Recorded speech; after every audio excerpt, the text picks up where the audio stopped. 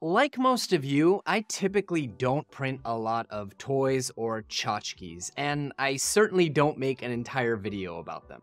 But these, honestly, are just too much fun for the entire family to not share them with all of you. And if I'm honest, I also really want to experiment with a shorter, more snackable video format than the 30 minute blab fests that I normally put out. So do let me know in the comments what you think of these types of shorter, more casual types of videos. Anyways, do stick around because in this video, I'm gonna share with you what these are, why exactly they're so cool as opposed to other 3D printed toys and tchotchkes, as well as recommended print settings and pro tips to get the absolute best results. Let's get after it.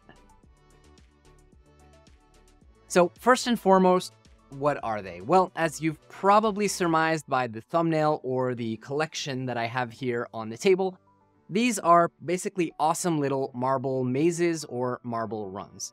Most of them, though not all of them, include a cool little Archimedean elevator screw which lifts the ball back up to the top of the track, sending it rolling back down. Now, some of these have one track, others have multiple tracks, and the ball rolls randomly down the track depending on where the screw is when it catches the ball.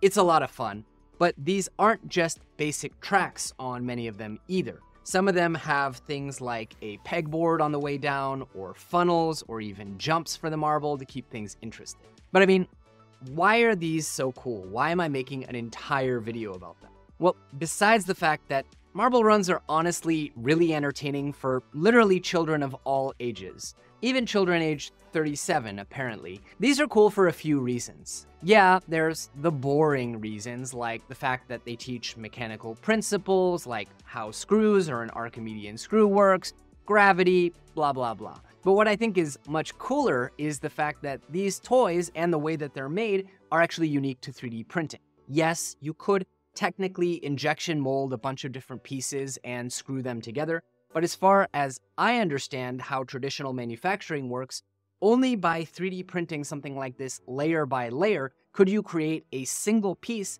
with such complex geometry that actually crosses itself so many times. Not to mention, you can use something like a cool gradient filament like these from SliceWorx or CookieCAD or Zero 3D to add even more allure and appeal that just couldn't be done with injection molding. Now, why, you ask, is it so cool that these are only producible through 3D printing? Well, because it means that you, or in this case, your friends and family, will never see something quite like this in stores.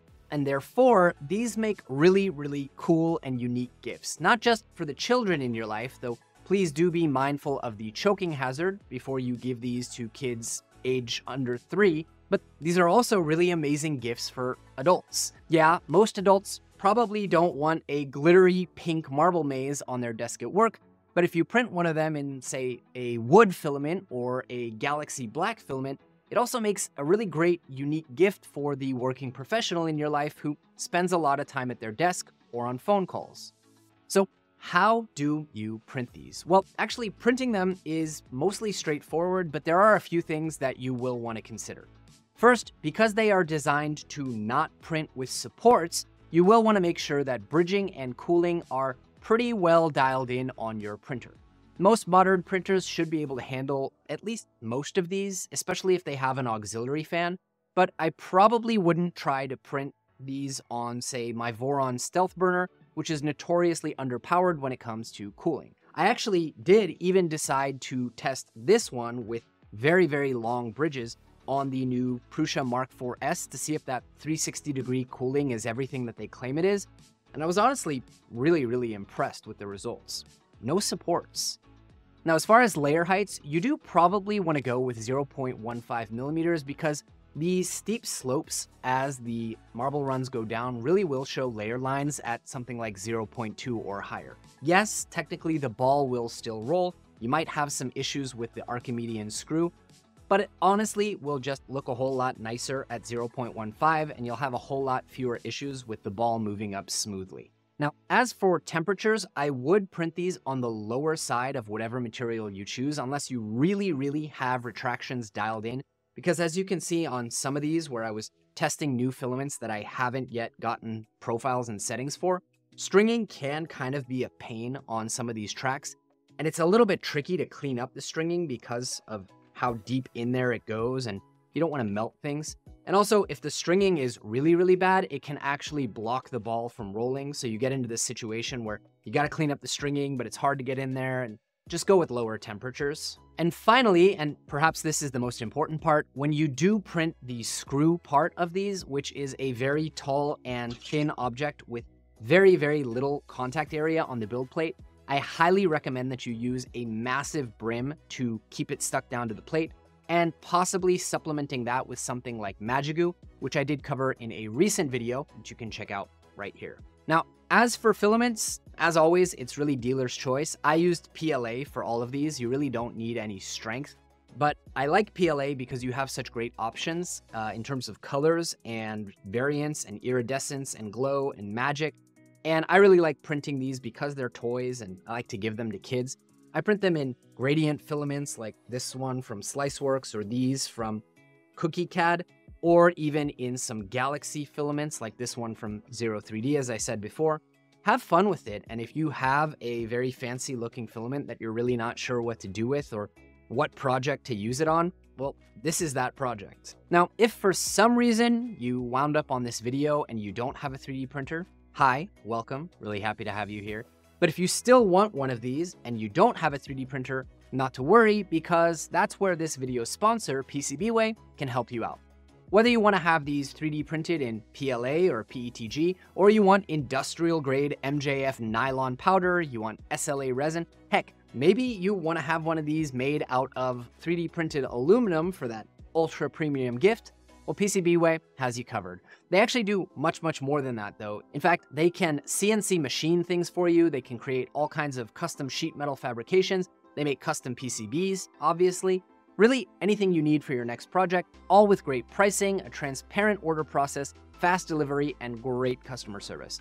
I personally use PCBWay and I recommend them a ton and I use them on all sorts of different projects here around the studio. So to check them out and support the folks who make videos like these possible, do visit the link in the description or go to jle.vi slash PCBWay today. All right, back to the video. With the parts printed or ordered, assembly is really, really easy. You just drop the screw in with the right side facing down. Make sure you pay attention to that. And then you place this secondary retainer on it, and then you put the turning handle on top of that. Now you actually could glue this retaining clip down, and then you could very carefully glue this key into the actual spiral. If you're planning on giving this to kids, that might be a really good idea to prevent them from trying to turn these things upside down and either losing the balls or breaking the kind of more delicate parts in the key. Realistically, you should never need to actually manually pull the balls out. Not that you could on some of these designs. And you should never need to turn these apart to get the ball out. Kids will sometimes do that. My kids do that a lot. And it might be better to just glue things down so that they don't lose parts. But you honestly don't have to if you're worried about something breaking or getting jammed. You can just leave these separated.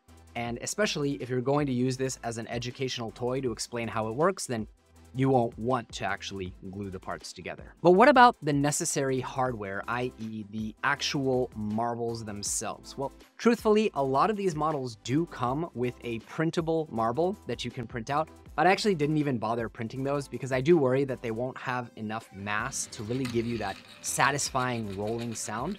Instead, I will link you in the description to both Amazon and AliExpress where you can pick up hundreds of six millimeter or nine millimeter ball bearings because different mazes do use different marble diameters. And while I know that you technically could use traditional glass marbles, go right ahead if you want to, but personally, I really like the look of these metal ones. I like the fact that if someone steps on them when my kids lose them, they're not going to shatter into glass. And they're honestly really, really affordable to just get the stainless steel ones, so treat yourself. Treat yourself. Okay, great. Hopefully, I have you convinced that you should definitely try printing at least one of these out today.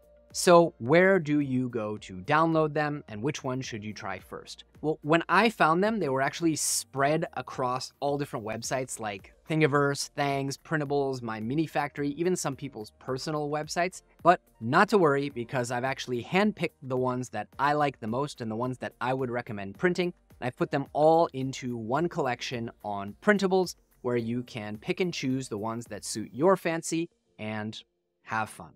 Personally, I would probably skip over this one as it is pretty basic with just one run. It only has this one track. And it's also one of the few models that has a 9mm ball.